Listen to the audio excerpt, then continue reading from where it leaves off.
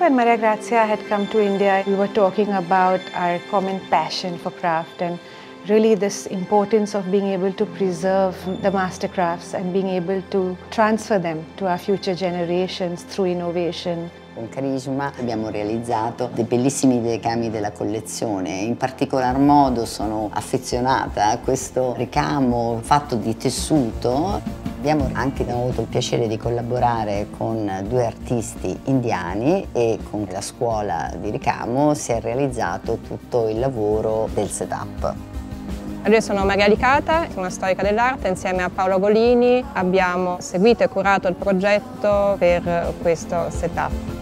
Christian Dior, prima di diventare un grande couturier, è stato anche un gallerista. Chiaramente questa lega è stata sposata da Maria Grazia Chiuri e infatti in ogni set c'è sempre la presenza di artiste. Per la prima volta abbiamo invece la presenza di una coppia, Madvi e Manu Parek. Questo set vuole rappresentare la meravigliosa fusione dell'energia maschile e femminile che danno proprio insieme, danno vita alla creatività, al mondo. She is very folk-like and naive and her lines are very raw. They have an energy that is primitive almost. And his work is abstract and modern and it's so interesting to see these works come together in collective harmony. Siamo partiti dalla selezione di una serie di loro opere pittoriche per creare una narrazione alternando le opere di Madvi e Manu Parek in questo percorso che ricorda anche per l'orizontalità quasi una pellicola cinematografica che vuole come un nastro che si scioglie all'interno di questo spazio.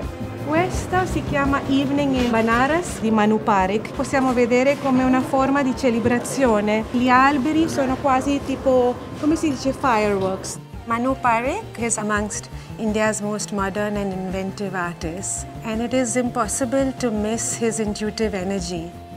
Madhvi's paintings often reflect the female energy of Indian goddesses, and for our artisans that a lot of them come from Calcutta, have grown up watching and understanding Durga and Kali.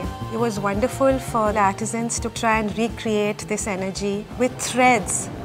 bellissimo.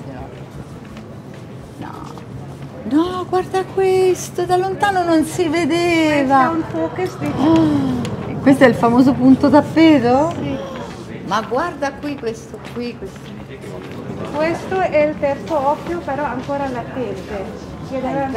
Ah, che noi dobbiamo sviluppare. Ognuna di queste opere racconta una storia molto più complessa di quella che appare. Tant'è vero che nella porta d'entrata dove escono le modelle abbiamo alla base l'immagine di Kali, la dea della trasformazione, e sopra abbiamo un'opera di Manu Parek che parla della forza delle vibrazioni sonore, perché anche il suono, come la vista, fa parte degli organi attraverso i quali noi possiamo modificare il nostro stato d'animo e il nostro modo di pensare. Per cui ci sono tanti livelli di lettura ed è indubbiamente un'opera estremamente complessa.